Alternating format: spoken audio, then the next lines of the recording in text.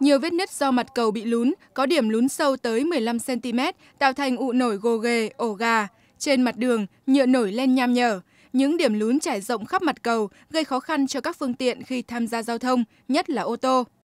Các phương tiện này thường phải lấn sang làn đường của xe thô sơ để tránh ổ gà, gây nên tình trạng ùn tắc vào những giờ cao điểm. Cầu Trương Dương được xây từ năm 1983, tính đến nay đã có gần 30 năm được đưa vào hoạt động. Đây là một trong những điểm giao thông huyết mạch của thành phố đi các tỉnh phía Bắc, lưu lượng phương tiện hàng ngày là rất lớn.